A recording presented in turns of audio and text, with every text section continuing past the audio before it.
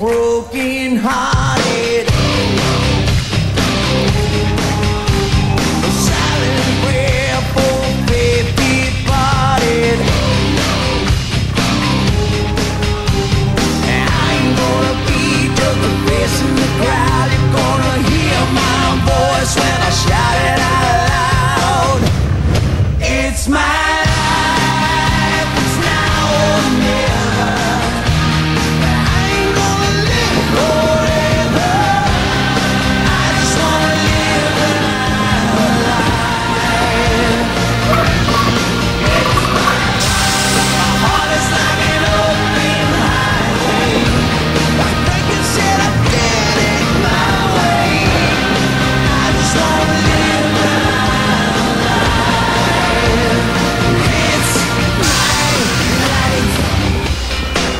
This